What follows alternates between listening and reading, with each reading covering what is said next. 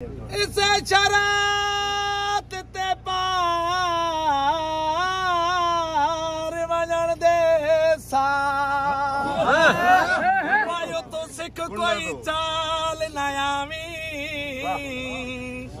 ਤੇ ਮੈਨੂੰ ਪਾਰ ਤੋਂ ਲੋਕ ਡਰਾਂਦੇ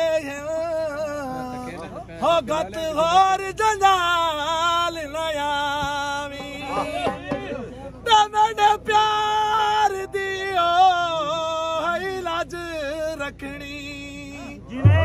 ਭਾਵੇਂ ਪੰਜ ਪੰਜ ਸਾਲ ਨਾ ਆਵੀਂ। ਹਟ ਜਦਣ ਜਲੀਲ ਤੂੰ ਵਤਨਾ ਤੇ, ਹੋ ਮੇਰੇ ਦੁਸ਼ਮਣਾਂ ਨਾਲ ਨਾ ਆਵੀਂ। ਪਚਤਾ ਸੇ ਬਉਮਾਇਆ ਤਾਂ ਜਨਾ ਵਿੱਚ ਸਾਨੂੰ ਸੱਟੀ ਆਈ ਉਹ ਸਾਡੇ ਵਰਗੇ ਨਉ ਮਾਇਆ।